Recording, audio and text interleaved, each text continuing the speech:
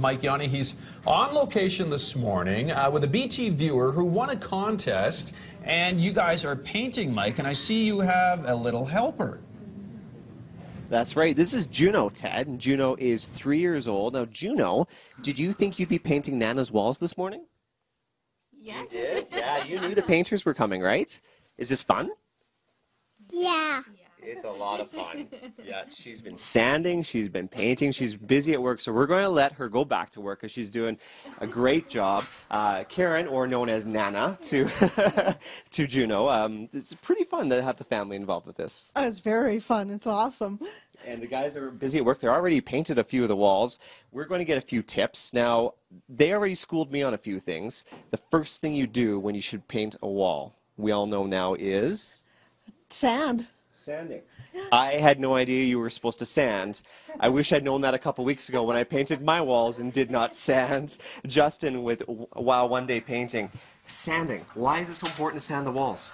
First of all, sanding helps uh, adhesion of the paint to the wall. So you're definitely going to get a better stick of the paint to your wall. It's going to stay on there better, and it's going to last a lot longer. So Okay, so sand first, and then wipe wipe down the wall, I guess, wipe after. down the dust off of the wall, absolutely, with a damp cloth after. Okay. Yeah. And you want to protect everything in the room. That's correct. So you want to, uh, what we like to do is we like to tape off the baseboards along the uh, along the room, so that when we're rolling, paint doesn't splatter down. Make sure that we poly uh, plastic off. Uh, and drop cloths all over the carpet so we don't damage that and any other furniture that they have because we don't want to get dust paint anything on there so Okay. A lot of people tape. Tape the ceiling. Um, you guys are professionals. You don't need to. Any word of caution on taping?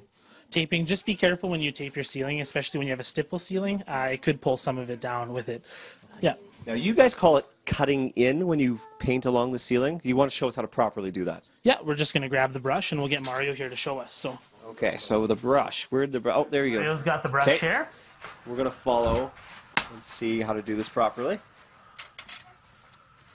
so mario's just going to start at one point lower than where he's at at the ceiling and then he's going to just edge his way up to get a clean line across the ceiling He makes it look really easy. Yeah it's not that easy but no, it's not that easy. Uh. so he doesn't have to use the tape. And obviously, this is faster if you can do it this way. that's right it'll save you time for sure We're almost out of time here, but okay, so we showed cutting in. Now, we want to show any roller technique quickly. yeah we'll show roller technique quickly mario We're going to interrupt Mario there. So the roller's right there. Okay. How much paint should be loading on that roller? Uh, you're going to want to roll your roller in your paint first a bit and then run it along the edges just to get any excess paint off. Okay. Then what you're going to want to do is start about a roller length away and then work your way back, but use the whole length of the wall. so Whole you don't get any runs or laps. That's what uh, what happens to most is you have a run down the wall. So this will prevent that. All good tips this morning. Uh, as I said, I wish I would have learned this a couple weeks ago when I decided to take on the uh, task of painting my home. I only did two walls. I think I'm going to call uh, Wow One Day Painting and they'll finish the rest. But coming up, we're going to be looking at some new paint trends this fall. And one I've never seen before. You're going to watch. You'll want to watch this and see what that new trend is. All right, more with Mike Yanni still to come on the show. Also, still to come, the Humane Society will be here, one of their regular visits. Adorable adoptables looking for forever homes.